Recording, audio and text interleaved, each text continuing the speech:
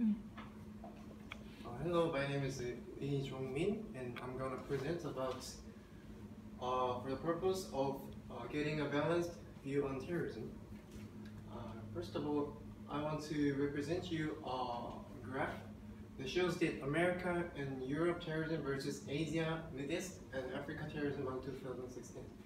This is a graph from Washington Post, and you can see that only 600 terrorism happened in America and Europe since uh, when the other Asia, Middle East, Africa terrorism in 2016 was about 50 times much more happened on other areas. And also you can see that on the 2015 well, you can see only low percentage of terrorism happened in Western Europe and Eastern Europe but in Middle East Asia and Sub-Saharan Africa, there was a lot of more terrorism that happened.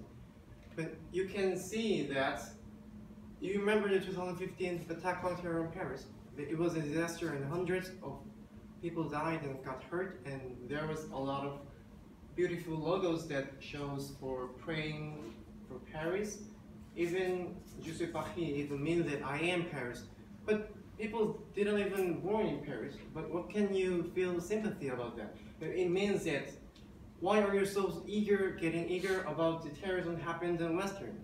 It was the, I think it was the representative of Western Paris because Paris is a is the icon of the Western passion. Then it makes people more sympathy about Paris, but it was about hundreds, while in Syria or Iraq, it's about 500,000 people. 500,000 people are suffering from terrorism, lack of water, civil war, disaster. That it is a problem, not a hundred, but I don't think that what happened in Paris was a not a disaster, but it is real problem. We need to feel more sympathy about this. And I don't fully agree with this guy, Noam Chomsky. Do you know Noam Chomsky?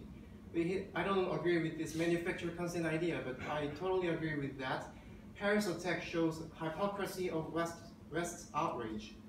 That it's only terrorism if they do it to us. Because it's all linked together. That it's not only IS issues or not only Iraq issues or Iran issues that every Western countries and Eastern countries are linked together and this is a problem of terrorism and you need to know more about terrorism to understand the real sympathy about this. And in conclusion, uh, what I want to say is that for feeling the right sympathy on terrorist issues or many other terrorism issues, we need to know more about West-East terrorism issues for understanding the, the sympathy, like uh, Syria issues or Iraq issues, and we need to need more for the balanced view on terrorism.